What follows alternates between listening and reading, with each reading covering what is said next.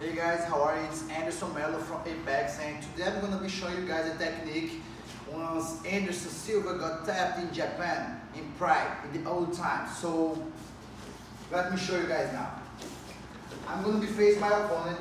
Let's say we are we have the same stance fighting, which is orthodox, left leg forward, right? But to do this technique to show you better, I'm gonna move this way. I'm gonna switch my stance so it's gonna be a little easier so you can understand.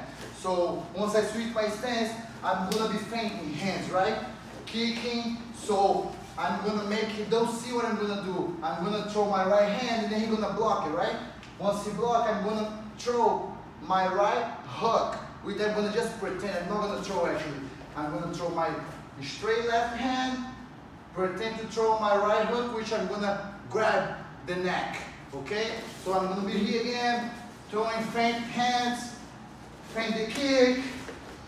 I'm gonna throw my left straight make him block so he's not gonna see what I'm gonna do. I hold the head, jump into his, legs with my scissor sweep. I'm gonna come to my inverse heel hook. Once again. I'm gonna switch my stance. I'm gonna feint my punches, my kicks, and then I'm gonna throw my left straight punch. You're gonna block it. I'm gonna throw my right hook, which I'm gonna grab as a clinch, and then I'm gonna jump. I think I can say that. That's a good detail. Once I'm gonna jump forward, I'm gonna switch, be switching my legs as a scissor. So once I throw my right hand to clinch him.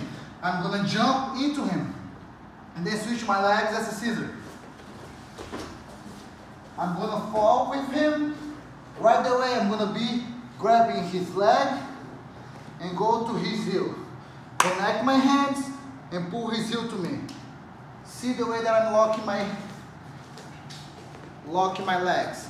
You gotta squeeze your knees, stretch one leg under his leg, and now you pull the heel to me.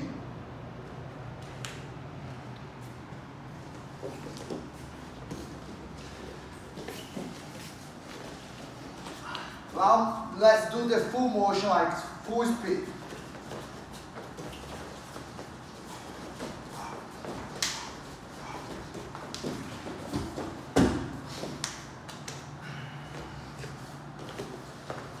Oh,